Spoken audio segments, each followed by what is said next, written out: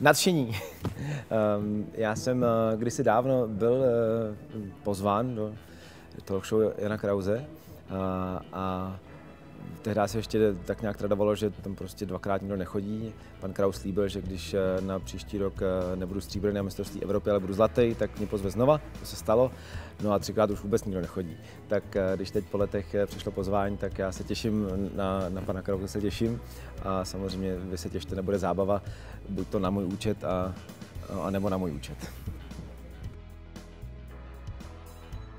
Jasný, že eh, takhle pořád se připravuje a jsou nějaká témata na snadě, ale taky si myslím, že všichni, kdo sledují eh, Jana Krause, tak eh, vědí, že scénář je jeden a Jan Kraus taky jeden, takže myslím si, že to bude v režii právě Honzy, ne, ne nikoho, kdo, i kdyby udělal krásnou rešerši, nebo já si připravil krásný proslov, tak ho tady určitě neřeknu. Toho byla spousta, třeba jak, jak zůstat eh, relevantní a jak zůstat eh, vtipný, zábavný taková léta.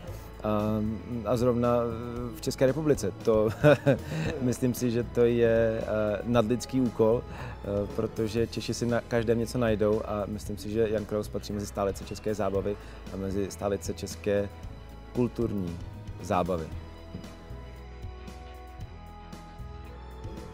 Je pravda, že před prvním pořadem jsem měl trému, před druhým pořadem jsem měl trému, před tímto pořadem nemám trému, nestihl jsem mít trému, je toho teď hodně i v návaznosti možná na témata, která budeme rozebírat eh, právě s panem Krausem, tak eh, času je málo prostoru pro to být nervózní ještě míň, a, takže já se, já se jenom těším, usadím se a, a zkusím se uvolnit.